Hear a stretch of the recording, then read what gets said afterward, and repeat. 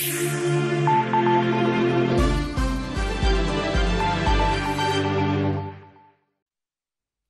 Bonjour à toutes et à tous, bienvenue dans cette édition de l'actualité régionale 7h15 en direct en ce vendredi 6 octobre. Ravi de passer cette matinée en votre compagnie. Vos prévisions météo d'abord commencé et c'est une bonne nouvelle avec du soleil partout dans la région, quelques nuages par moment sans conséquence. Les cumulus de beau temps seront peut-être un peu plus présents cet après-midi près de la frontière belge, sinon partout ailleurs un temps lumineux est annoncé. Attention quand même aux températures fraîches, il fait même froid, dirons-nous ce matin, 7 degrés seulement de relevé par moment et cet après-midi le thermomètre ne passera d'ailleurs pas au-dessus des 14 degrés. Les prévisions complètes en tout cas à retrouver après ce journal. L'info à la une justement, le changement climatique constaté dans la région. L'Observatoire régional du climat vient de publier une étude qui établit clairement les signes d'un bouleversement de la météo dans les Hauts-de-France avec des données et des relevés effectués depuis les années 50. L'Observatoire est en mesure d'annoncer une hausse de la température régionale moyenne de 1,75 degrés à Lille depuis 1955. Autre signe, le nombre de jours de gel par an passé de 62 à, en 55 à seulement 11 en 2016. Selon les projections, la tendance amène même à, une absence complète des jours de gel à Boulogne en, 2055 et plus grave encore pour le littoral. Euh, la hausse du niveau de la mer de 9,5 cm depuis 1956, ce qui laisse imaginer le pire évidemment pour les années à venir. Il y a tout de même du positif dans les Hauts-de-France selon la directrice de l'Observatoire du climat, hier l'invité de Xavier Silly. Les énergies renouvelables se développent dans notre région de manière assez significative, puisque c'est une hausse de 70% de la production d'énergie renouvelable en Haute-France qu'on enregistre en 5 ans. Donc vous voyez, c'est quand même significatif. Alors on n'était pas très élevé, hein, donc les, pourcentages sont importants, mais euh, on se réjouit quand même de cet élan qui est donné. Aujourd'hui, on a 8% de notre consommation d'énergie qui est déjà couverte par les renouvelables. Bon, l'ambition euh, française était de 23% à 2020, donc euh, voilà, il faut courir vite, mais on est quand même, voilà, c'est un résultat positif pour les Hauts-de-France. La LPA ouvre ses portes ce week-end dans la région, notamment à Lille et à Roubaix. Une vingtaine de chats, une quarantaine de chiens et de nombreux hamsters et lapins par refuge attendent une nouvelle famille. Pour l'association, ces week-ends sont surtout importants. Après l'été, la saison où l'on enregistre malheureusement le plus d'abandons. Et dans ces refuges, vous pouvez donc bénéficier surtout de conseils de bénévoles, choisir un animal en pleine santé. Et puis aussi, c'est important de revenir plusieurs fois pour être sûr de votre choix. Adopter, c'est une responsabilité, c'est aussi un coût pour la LPA.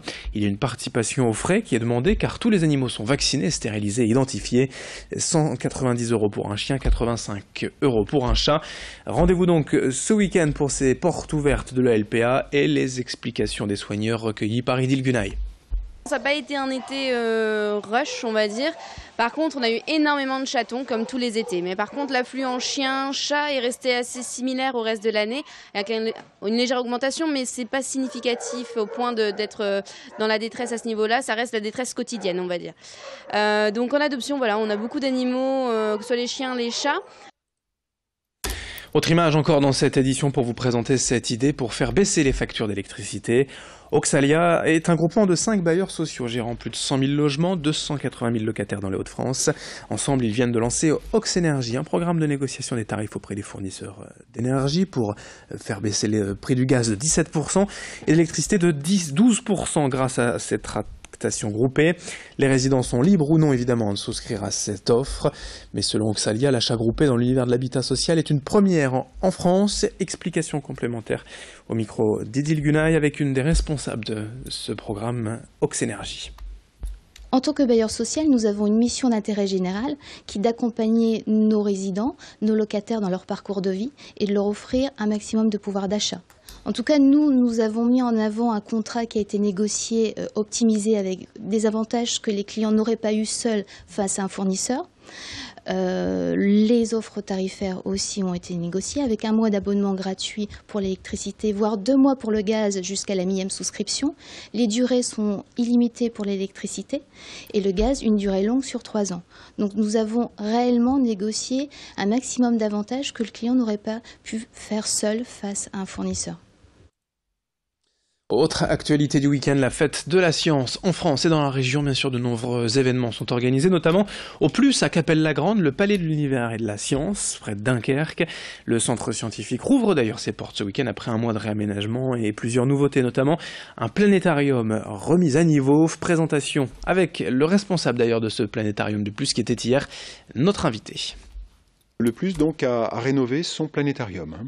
depuis 8 euh, ans, 9 ans bien le, matériel qui était à la pointe à l'époque, bien sûr, les, techniques ont évolué. Et donc nous proposons, après la Cité des Sciences à Paris, après le, Grand Planétarium de Toulouse, nous sommes les troisièmes à ouvrir sur cette nouvelle technologie des projecteurs laser qui nous donne une illusion d'immersion et surtout une qualité d'image inégalée jusqu'à présent. Donc on a vraiment l'impression d'être dans, dans l'espace ou d'être sur une planète tout en n'ayant pas de lunettes sur le nez. 7h20 minutes en, direct. En bref, aussi l'évacuation du camp de migrants de l'île Saint-Sauveur ordonnée par le tribunal administratif. Hier, les réfugiés ont désormais une semaine pour quitter les lieux.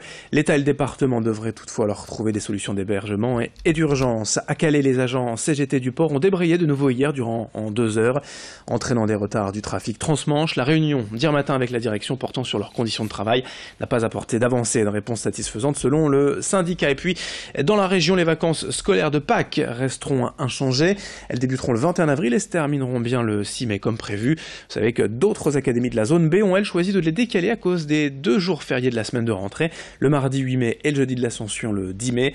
ces autres euh, académies dans la zone B craignent une semaine à trous et les difficultés d'enseignement pour les enfants ou même les enseignants. Pour finir ce euh, journal à Gravelines ce week-end, des randonnées sont organisées au bord de l'A. Un parcours pour les VTT, pour les vélos de route et pour les randonneurs à pied. Plusieurs parcours, plusieurs distances sont prévus de sorte que chacun y trouve son compte. De simples amateurs ou curieux ou plus aguerris, les randonneurs euh, ont le choix. Tout ça est ouvert à, tous. L'idée c'est vraiment d'y aller à son rythme. Les inscriptions démarrent à 7h30, mais le départ est libre. Chacun marche ou pédale comme il l'entend. Présentation avec le responsable événementiel du parc des Rives de l'A, rencontré pour nous par Corentin Escaillé. C'est vraiment que euh, la partie euh, plaisir, familial, euh, détente. C'est qu'il n'y a aucun chrono, c'est un départ libre. Il y a un début d'inscription qui est à 7h30 et ensuite eh ben, on, défile. C'est-à-dire que les gens arrivent au fur et à mesure, par 2, par 3, par 10, par club, etc. Et ensuite ils prennent le départ quand ils veulent. Donc c'est ça qui fait un peu l'attrait de ce type de manifestation qu'on retrouve pratiquement tous les dimanches sur, sur toute la région des Hauts-de-France. Allez, fin de cette édition. Dans un instant, suivre vos prévisions météo. Je vous rappelle quand même le programme dans la région aujourd'hui du soleil, du ciel bleu, mais des températures plutôt fraîches forcément. En ce mois d'octobre, les valeurs continuent de baisser. 7h22 minutes ce matin. Très bon réveil et très belle journée à toutes et à tous.